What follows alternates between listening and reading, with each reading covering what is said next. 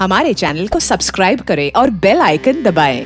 अगर आप सेहतमंद ज़िंदगी जीने के अपने लक्ष्य को पाना चाहते हैं तो शरीर में विटामिन और मिनरल्स की कमी की ओर भी ध्यान देना ज़रूरी है। क्या है ये माइक्रोन्यूट्रिएंट्स और इनकी कमी दूर करने के लिए सप्लीमेंट्स का सेवन कितना सही है? चलिए जानते हैं इस वीडियो में। पोषक तत्वों की दुनिया बहुत विस्तृत है। प्रोटीन, वसा और कार्बोहाइड्रेट जैसे पोषक तत्वों की जहाँ शरीर को ज़्यादा मात्रा में ज़रूरत होती है, वहीं विटामिन बी बारह विटामिन डी, कैल्शियम, आयरन जैसे माइक्रोन्यूट्रिएंट्स भी है, जिनकी ज़रूरत वैसे तो हमारे शरीर को कम मात्रा में होती है, पर इनकी कमी कई बड़ी स्वास्थ्य समस्याओं के लिए जिम्मेदार होती है। अगर शरीर को आहार के माध्यम से ये पोषक तत्व नहीं मिल पा रहे हैं तो इनकी आपूर्ति के लिए सप्लीमेंट्स लेना ज़रूरी हो जाता है, क्योंकि शरीर को स्वस्थ रखने में इनकी बहुत महत्वपूर्ण भूमिका होती है। आखिर क्यों ज़रूरी है माइक्रोन्यूट्रिएंट्स? शरीर के विभिन्न अंगों के सुचारू रूप से कार्य करने और तेज मेटाबॉलिज्म के लिए माइक्रोन्यूट्रिएंट्स की भूमिका अहम होती है। माइक्रोन्यूट्रिएंट्स की कमी से होने वाली स्वास्थ्य समस्याओं की शिकार पुरुषों से ज़्यादा महिलाएँ होती हैं। इनमें वज़न से जुड़ी समस्याएँ, अनिद्रा और डायबिटीज़ जैसी परेशानियाँ शामिल हैं। खास बात यह है कि इनमें से अधिकतर स्वास्थ्य समस्याओं से बचा जा सकता है। इसके लिए बस आपको पोषक तत्वों से भरपूर भोजन का सेवन करना होगा या फिर ज़रूरी हो तो इन पोषक तत्वों की आपूर्ति सप्लीमेंट्स के माध्यम से करें। जानते हैं माइक्रोन्यूट्रिएंट्स की कमी से होने वाली समस्याएँ। कमज़ोर रोग प्रतिरोधक तंत्र माइक्रोन्यूट्रिएंट्स की कमी से इम्यून सिस्टम कमज़ोर हो जाता है, जिससे शरीर बीमारियों से लड़ने में सक्षम नहीं रहता। हड्डियों और जोड़ों की समस्या, कैल्शियम और विटामिन डी की कमी से हड्डियाँ कमज़ोर हो जाती हैं और जोड़ों में दर्द होता है।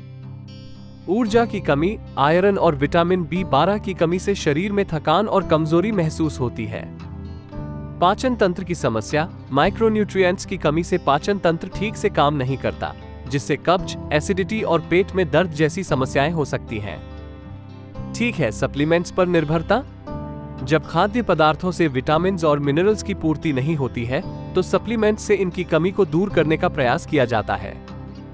सप्लीमेंट्स दो तरह के होते हैं। कुछ सप्लीमेंट्स, फलों, सब्जियों, जड़ी बूटियों और दूसरे खाद्य पदार्थों से तैयार किए जाते हैं। वहीं, सिंथेटिक सप्लीमेंट्स प्रयोगशाला में तैयार किए जाते हैं। बाज़ार में vitamin, mineral, amino acids, herbs, enzymes, probiotics और एंटीऑक्सीडेंट्स के सप्लीमेंट्स उपलब्ध हैं।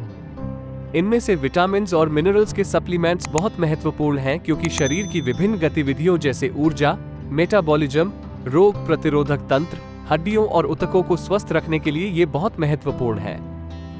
न्यूट्रिशनल सप्लीमेंट्स के फ़ायदे और नुकसान।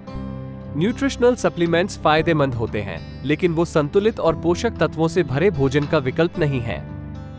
मल्टी विटामिन और मिनरल्स के सप्लीमेंट्स विश्व में सबसे ज़्यादा लिए जाने वाले सप्लीमेंट्स हैं।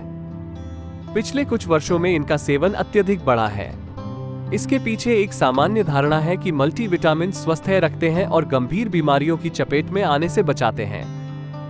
हाल ही में international journal of applied and basic medical research में प्रकाशित एक अध्ययन के अनुसार 30 प्रतिशत लोग बिना डॉक्टर की सलाह के मल्टीविटामिन और मिनरल्स का सेवन करते हैं।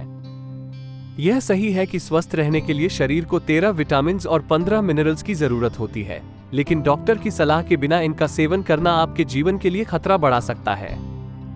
जो लोग विटामिन बी बारह और विटामिन डी के सप्लीमेंट्स लेते हैं, उन्हें हर छह आठ महीने में अपना ब्लड टेस्ट करवाना चाहिए। तो चलिए जानते हैं विटामिन और मिनरल्स के प्राकृतिक स्रोत। विटामिन डी, सूरज की रोशनी, मछली, अंडे की जर्दी। विटामिन बी बारह, मांस, मछली, डेयरी उत्पाद।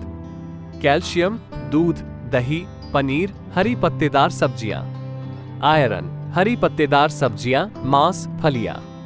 मैं उम्मीद करूँगा दोस्तों कि आपको हमारी यह वीडियो पसंद आई होगी और अगर आपको हमारी यह वीडियो पसंद आई है तो कृपया लाइक, शेयर और सब्सक्राइब करें।